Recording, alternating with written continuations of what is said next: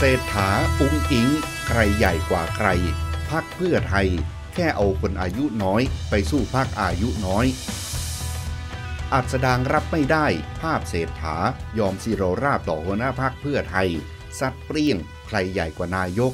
ถามลั่น นายกไทย หรือนายกเพื่อไทยจตุพรเย้ย อุ้งอิงหัวหน้าเพื่อไทย แค่เอาคนอายุน้อยไปสู้กับพักอายุน้อย วันที่ 28 ตุลาคม 2566 เวลา 22นาฬิกา4นาที ผู้จัดการออนไลน์รายงานว่า น่าสนใจเป็นอย่างยิ่ง วันนี้ คือวันที่ 28 ตุลาคม นายอัษฎางค์ ยมนาค นักวิชาการอิสระ โพสต์เฟซบุ๊กเอ็ดดี้อัษฎางค์ ยมนาค ระบุว่า ใครใหญ่กว่านายก โย่งถุงเท้าแดง God Daughter ไปพบผู้นำรัสเซีย ก็แสดงกิริยากระสับกระส่าย กระวนกระวาย ลุกลี้ลุกลน อันบ่งบอกถึงความกลัว การยอมจำนนต่ออำนาจที่เหนือกว่า ก่อนจะเจรจาสำเร็จด้วยซ้ำนี่หรือภาวะผู้นำของท่านผู้นำอยู่เมืองไทยก็แสดงกริยาที่บ่งบอกถึงอาการเดียวกัน ตัวเป็นผู้หลักผู้ใหญ่เป็นนายก ซึ่งใหญ่ที่สุดทั้งวัยวุฒิคุณวุฒิและตำแหน่งหน้าที่ แต่ก้มหัวให้เด็กผู้หญิงที่อ่อนทั้งวัยวุฒิคุณวุฒิและตำแหน่งหน้าที่ นี่หรือภาวะผู้นำของท่านผู้นำ หรือว่านางผู้นี้มีสิ่งที่เหนือกว่า ซึ่งนั่นก็คือการเป็นลูกสาวเจ้าของพรรคกริยาแบบนี้จะบ่งบอกว่า นายกรัฐมนตรีของไทย ปฏิบัติหน้าที่เพื่อไทย หรือเพื่อพรรคเพื่อไทยกันละ่ะ นี่หรือภาวะผู้นำของท่านผู้นำคำตอบอยู่ที่ภาพนี้ว่า นายกรัฐมนตรีเพื่อไทย ปฏิบัติหน้าที่ภายใต้อำนาจ หรือยอมสิโรราบต่อหัวหน้าพรรคเพื่อไทยหรือไม่ นี่หรือภาวะผู้นำของท่านผู้นำไปเจรจาความเมืองกับต่างชาติ ก็แสดงกริยาสิโรราบต่อผู้นำต่างชาติ อยู่เมืองไทย ก็แสดงกริยาสิโรราบต่อผู้นำไทย ผู้นำไทยที่ไม่ใช่นายกรัฐมนตรี แต่เป็นผู้นำพรรคเพื่อไทย ส่วนนางพญาผู้นี้ยิ่งใหญ่เกินจะคาดเดา เพราะตนเป็นหัวหน้าครอบครัวเพื่อไทย ก็ใหญ่กว่าหัวหน้าพัก ด้วยภาพการก้มหัวกระวักของหัวหน้าพักต่อหัวหน้าครอบครัวของพัก พอขึ้นมาเป็นหัวหน้าพักก็ใหญ่กว่านายกรัฐมนตรี นี่เป็นคนของพักด้วยภาพนายกรัฐมนตรี ก้มหัวกระวะหัวหน้าพัก หอมกลิ่นความเจริญ บันเทิงไทย อัศดางยมนาคราษฎรภายใต้การปกครองของหัวหน้าพักเพื่อไทย ขณะเดียวกัน นายจตุพรพรมพันธ์ วิทยากรคณะหลอมรวมประชาชน Facebook Live มีสาระสำคัญตอนหนึ่ง เชื่อว่า เมื่ออุ๋งอิง แพทองทานจินวัตรลูกสาวทักษิณจินวัตรถูกเลือกให้เป็นหัวหน้าพักเพื่อไทย คงไม่อาจทำให้พักเปลี่ยนแปลงได้มากนัก เพียงแต่ปรับภาพลักษณ์ของพักใหม่ โดยเอาคนอายุน้อยมาสู้กับพักคนอายุน้อยเท่านั้น อีกทั้งเห็นว่าการเมืองเป็นภาพมายา ตั้งแต่มีพักเพื่อไทยมา หัวหน้าพักมีคนเดียวเท่านั้น ที่เหลือเป็นหัวหน้าพักสมมุติกันหมด แต่การเลือกอุงอิงขึ้นเป็นหัวหน้าพักครั้งนี้ เป็นเพียงหัวหน้าพักสมมุติเสมือนตัวจริง เพื่อมาพลิกเกมใหม่จากได้รัฐบาล แต่เสียงเลือกตั้งกลับตกต่ำมากที่สุด ผมเชื่อว่าพักเพื่อไทยไม่มีอะไรเปลี่ยนแปลง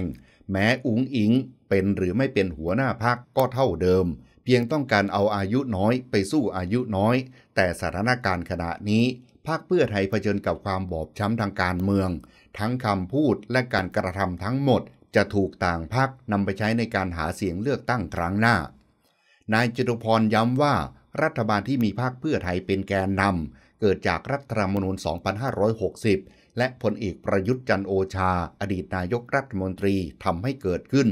โดยสวสายพลเอกประยุทธ์ โหวตให้นายเศรษฐาทวีสินเป็นนายก และภาพปรากฏจึงเป็นเพียงมายา แต่ข้างหลังภาพคงซ่อนอะไรไว้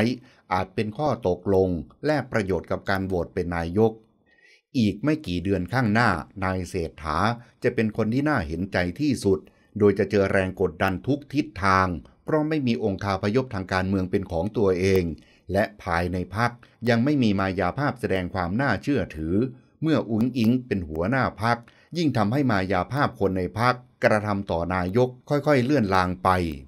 อุงอิงได้เป็นหัวหน้าวันนี้ไม่เห็นมีอะไรแตกต่างไปจากเดิม ซึ่งที่ผ่านมาการเดินงานการเมืองเป็นเพียงกลยุทธ์ และต้องการหลีกเลี่ยงกฎหมายเลือกตั้ง ที่ควบคุมแต่กรรมการบริหารพรรคอีกอย่างการไปเป็นประธานยุทธศาสตร์ต่างๆ หรือเป็นคิดเดตนายก เพื่อหลีกเลี่ยงกรณียุบพัก และกรรมการบริหารพักถูกตัดสิทธิการเมือง แต่วันนี้เดินมาถึงจุดที่ต้องออกหน้าเอง ตั้งแต่ปี 2549 เรื่อยมา คนในตระกูลจินวัตรสามารถเป็นหัวหน้าพักเพื่อไทยได้ทุกเมื่ออยู่แล้ว แต่วันนี้ทำไมต้องมาออกตัวกัน อย่างไรก็ตาม ผลพวงจากการโหวตของสอวสายพลเอกประยุทธ์ จะเป็นคำตอบของทุกสิ่งทุกอย่าง และการโหวตนี้อาจได้ตกลงกันเป็นเวลานานเท่าใด ไม่มีใครรู้ ดังนั้น ปลายปีนี้ถึงต้นปีหน้า ไม่รู้การเมืองจะเกิดสถานการณ์อะไรขึ้นมาอีก ถ้าคิดเพียงจะเป็นที่หนึ่งในการเลือกตั้งครั้งหน้าแล้ว ไม่จำเป็นต้องเป็นหัวหน้าพักในเวลานี้เลย แต่ถึงที่สุดการเมืองไม่แน่นอน สามารถพลิกเปลี่ยนได้เป็นชั่วโมง อีกทั้งการเมืองไม่ใช่เรื่องบังเอิญ และทุกเรื่องไม่ใช่เรื่องง่ายนายจตุพรชี้ว่าอุ๋งอิงไม่ใช่คนใหม่ทางการเมืองแล้ว แต่เป็นคนเก่าที่อายุน้อย เพราะเคยผ่านมรสุมทางการเมืองมาแล้ว ทั้งขึ้นปราศัยหาเสียงมากมาย แต่ไม่ได้เป็นไปตามคำพูดเลย แล้วจะฝากความหวังไว้กับท่าการเมืองได้อย่างไร ดังนั้นในเวลาที่เหลือ การเลือกตั้งยังยาวไกล การมาเป็นหัวหน้าพักจึงอาจรองรับสถานการณ์อื่นไว้ในวันข้างหน้า ตั้งแต่ปี 2549 เรื่อยมา คนในตระกูลจินวัตรสามารถเป็นหัวหน้าพักเพื่อไทยได้ทุกเมื่ออยู่แล้ว แต่วันนี้ทำไมต้องมาออกตัวกัน อย่างไรก็ตาม ผลพวงจากการโหวตของสอวสายพลเอกประยุทธ์ จะเป็นคำตอบของทุกสิ่งทุกอย่าง และการโหวตนี้อาจได้ตกลงกันเป็นเวลานานเท่าใด ไม่มีใครรู้ ดังนั้น ปลายปีนี้ถึงต้นปีหน้า ไม่รู้การเมืองจะเกิดสถานการณ์อะไรขึ้นมาอีก ถ้าคิดเพียงจะเป็นที่หนึ่งในการเลือกตั้งครั้งหน้าแล้วไม่จำเป็นต้องเป็นหัวหน้าพักในเวลานี้เลย แต่ถึงที่สุดการเมืองไม่แน่นอน สามารถพลิกเปลี่ยนได้เป็นชั่วโมง อีกทั้งการเมืองไม่ใช่เรื่องบังเอิญ และทุกเรื่องไม่ใช่เรื่องง่าย นายจตุพรชี้ว่าอุ๋งอิงไม่ใช่คนใหม่ทางการเมืองแล้ว แต่เป็นคนเก่าที่อายุน้อย เพราะเคยผ่านมรสุมทางการเมืองมาแล้ว ทั้งขึ้นปราศัยหาเสียงมากมาย แต่ไม่ได้เป็นไปตามคำพูดเลย แล้วจะฝากความหวังไว้กับท่าการเมืองได้อย่างไร ดังนั้นในเวลาที่เหลือ การเลือกตั้งยังยาวไกล การมาเป็นหัวหน้าพักจึงอาจรองรับสถานการณ์อื่นไว้ในวันข้างหน้า